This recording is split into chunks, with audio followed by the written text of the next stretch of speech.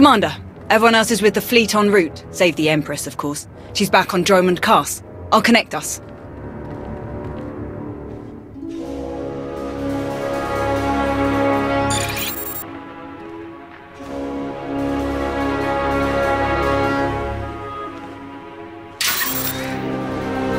Commander, I'm pleased to see you again. I am gratified that my Dark Council has worked alongside you so efficiently. Such productive cooperation is crucial to our Empire's future. Your successes against the Republic reinforcements have all but guaranteed our victory on Corellia. But we must not become overconfident.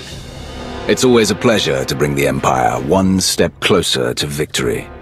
Given that the enemy is unaware of the details of our strategy, their fleets will assume a flexible defensive formation in geosynchronous orbit above the Meridian Complex shipyard. Contrary to their expectations, I will take most of our ships to the far side of Corellia, forcing at least some of their vessels to break formation and engage us. And how will you ensure that the enemy chases you?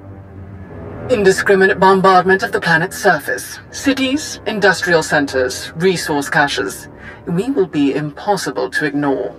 We cannot massacre civilians purely as a diversion. We certainly can. Regardless, civilians are not a resource our enemy is short on. But Corellia is full of others they can hardly afford to lose. Focus your attacks accordingly. As you wish.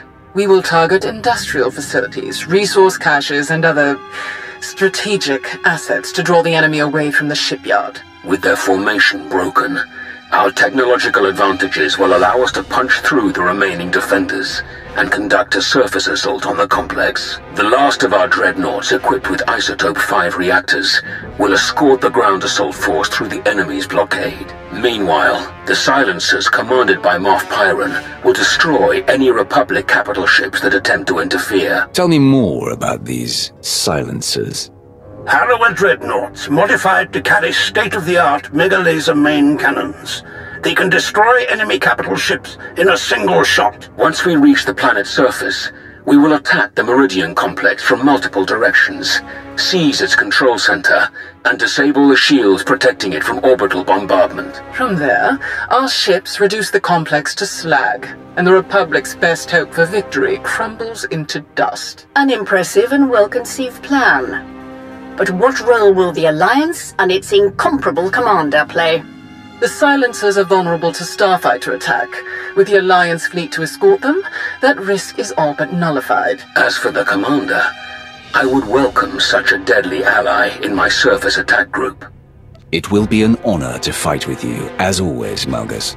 Together, we will be unstoppable. Rendezvous with these coordinates. Our attack begins as soon as you arrive, Commander. Let our enemies remember why they fear the power of the Sith Empire. Let the entire galaxy know our strength.